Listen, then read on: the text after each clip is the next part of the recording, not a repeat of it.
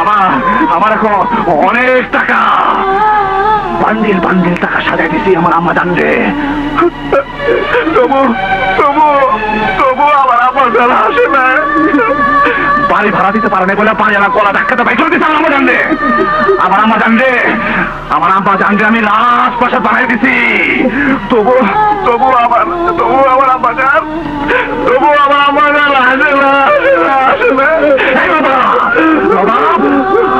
আমার এখন হব না। শেষ নাই। শেষ নাই। এই, শেষ নাই।